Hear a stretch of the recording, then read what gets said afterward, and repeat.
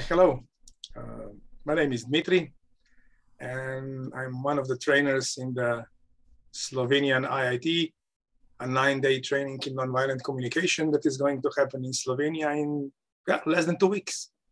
We start in the 22nd of April. And with me is Frank. Hey, hey Dimitri, thank you for inviting me to this to this call and in particular to this IIT. Um, yeah, short introduction. My name is Frank Gaschler. I'm uh, based in Munich, in Germany, and I'm a trainer and assessor for the certification process of the CNVC. And I'm really looking forward to this event in Slovenia. Hoo-hoo. Yeah, it's Spring. close. yeah, we just want to shortly talk about uh, about how can this event be nice and inviting for you as well. And we just want to share a couple of information that it's kind of what we're grateful for and what what is about us and how that we came to organize such an event in Slovenia. Yeah. So my first question is, uh, Dimitri, you're organizing, uh, you're trainer and organizing the the whole event, and I'm really curious. Why did you, uh, yeah, why did you ask me to join the team? Yeah, good question, Frank. Yeah, we, we, ha- we have quite a history, and uh, it was one of the first, let's say, nine-day events that basically changed my life. And you were a trainer there, and later on we kind of have a relationship with. I ask you to be my assessor in the process of certification, and yeah, I, I still remember it was an amazing experience with uh, with the whole process. There was so, so much flow and uh, there was also a lot of learning from your side. It kind of i really experienced this kind of way that we really looked for a solution that maybe worked for both of us and not so much standard one. And yeah and i completed the, the certification quite quite soon. And also the, the i mean the whole process was really a beautiful experience and mm. Yeah that's one of the things. And i learned from you a lot. So this is one of the reasons that i kind of really would like to to see you in the event. And the additional plus is that you're an assessor, and that kind of these IITs are really something that we would really welcome certification candidate to, to come because they can learn a lot either from the sessions but also from the from you as an assessor being quite for so many years right now. And yeah i guess this is kind of one of the one of the reasons and i'm, I'm i really value the knowledge that i and experience that i received from you Thank you, Dimitri.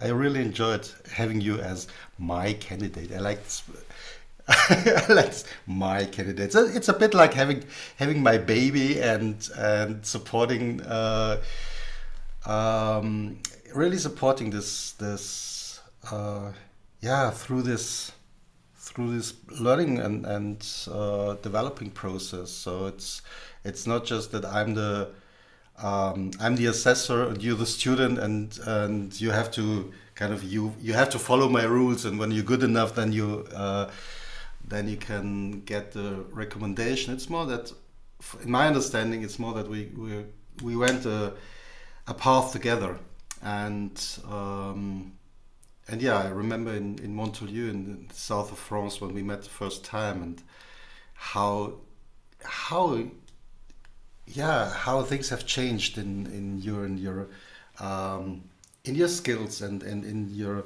your awareness of nonviolent communication through all these times. So i'm yeah. So for me it, it kind of it is a like a it, it closes something. Um, and i'm really looking forward to to see you there as a trainer and uh, so that this can be a kind of a change of, of our relation too.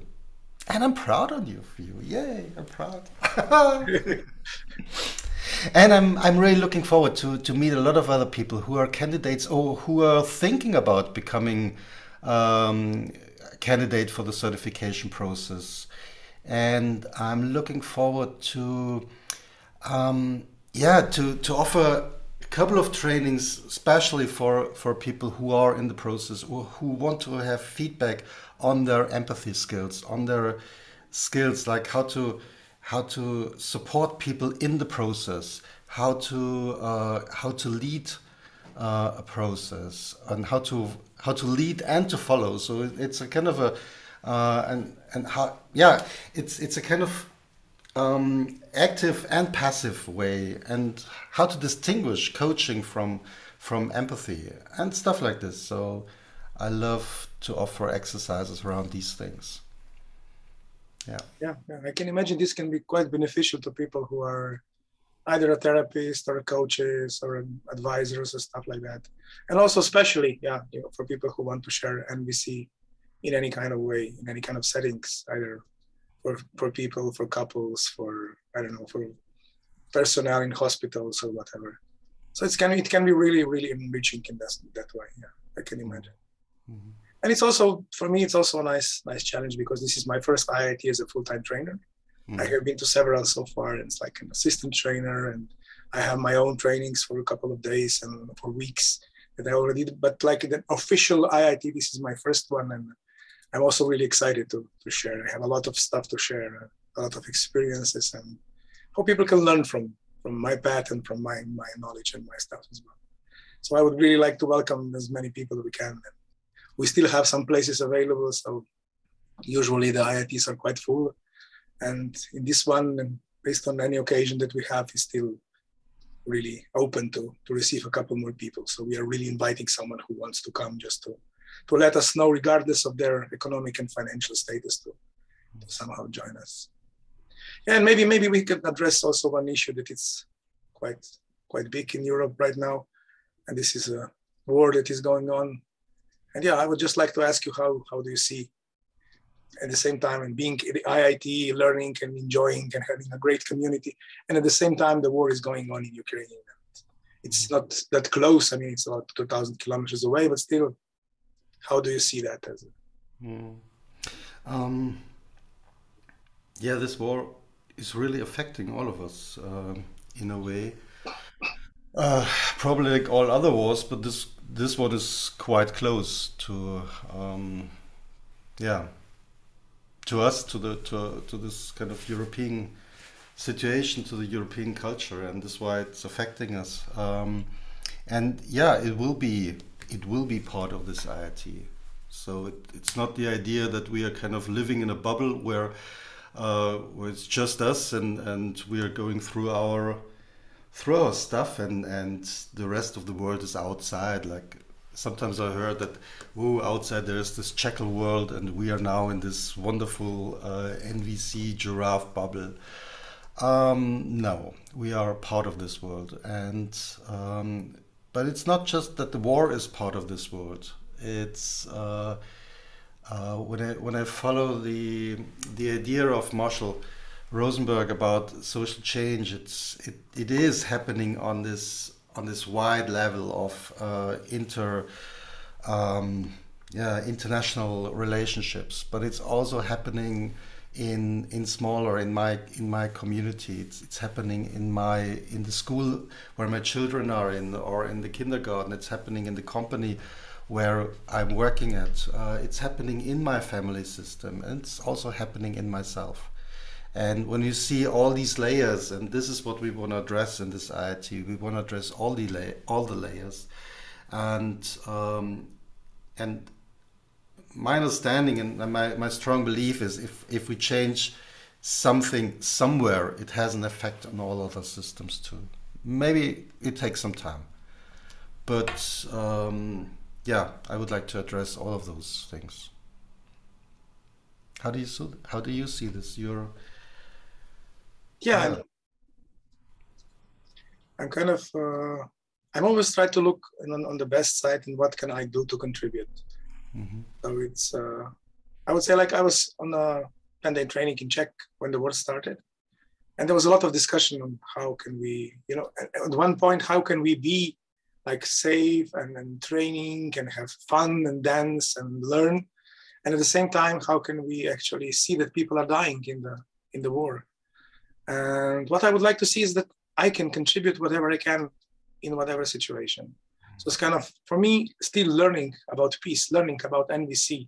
So it's kind of how can I contribute to, to be, bring more peace by the way I live and by the way I teach. it's uh, something I can do. And if I learn more, I can share more. I can I can contribute more.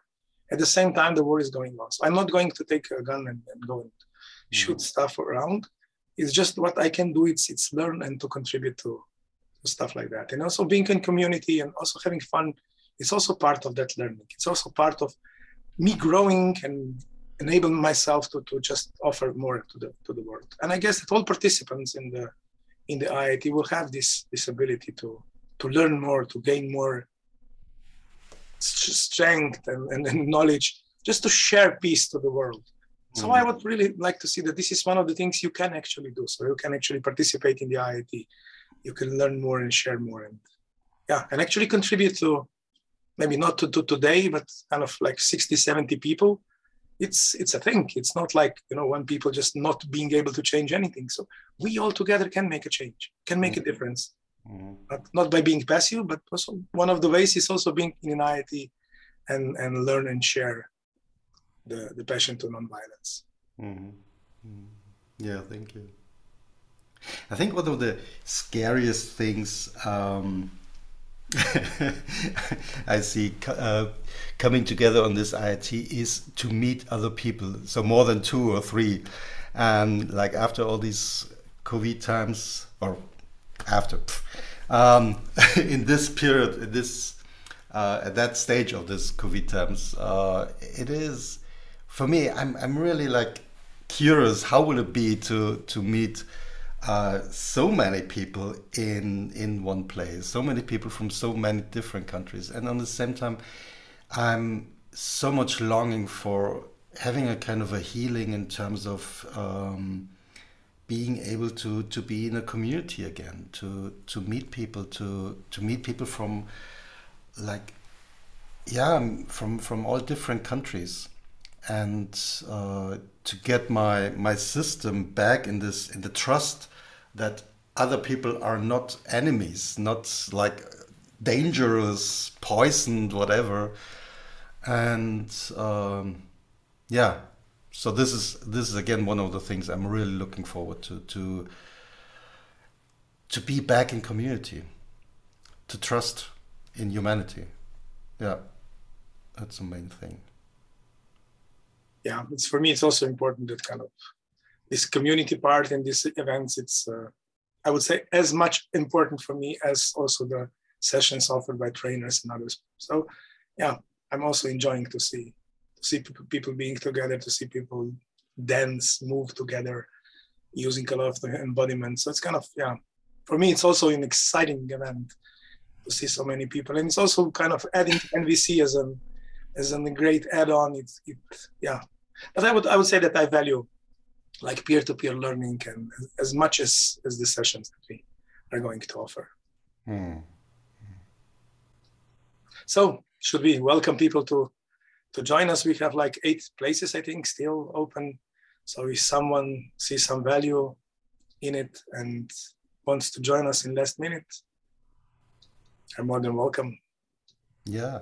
Oh one thing i would like to to, to share is that sometimes I hear that people are, are hesitating to come to an IIT um, because of their English, because they say, "Oh, I'm not sure my English is not perfect," and um, so I really would like to support people coming because uh, you and I we are not we're not native speakers, and of course you can hear this, and at the same time, um, I the most people who will be at this IIT are not uh, mother tongue English speaking people. They are like they, they are giving the best. And what I love is that if you're if it's not your language, you are people are kind of having shorter sentences, easier sentences, and the message is uh,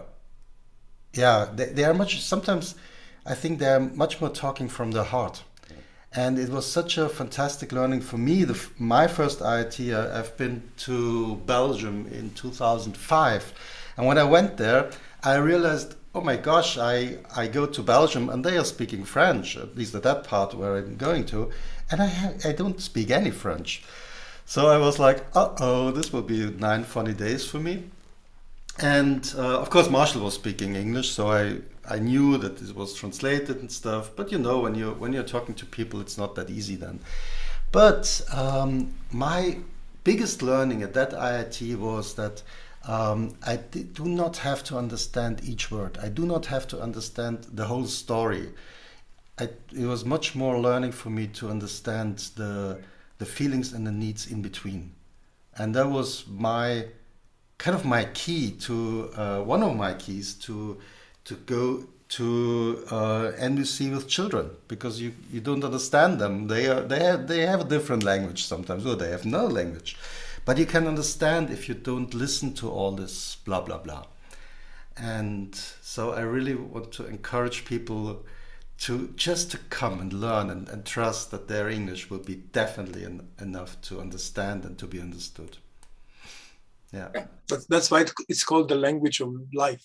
Yeah. It's kind of just sensing the energy of the people. It's not necessarily in the words. Yes. Yeah. Thank you for sharing that.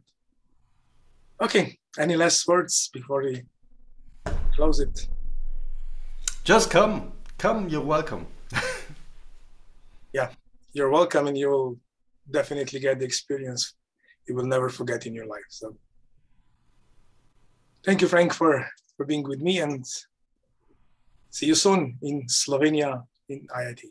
Thank you, Dmitry. And yes, I'm looking forward to you, to see you and to celebrate with you.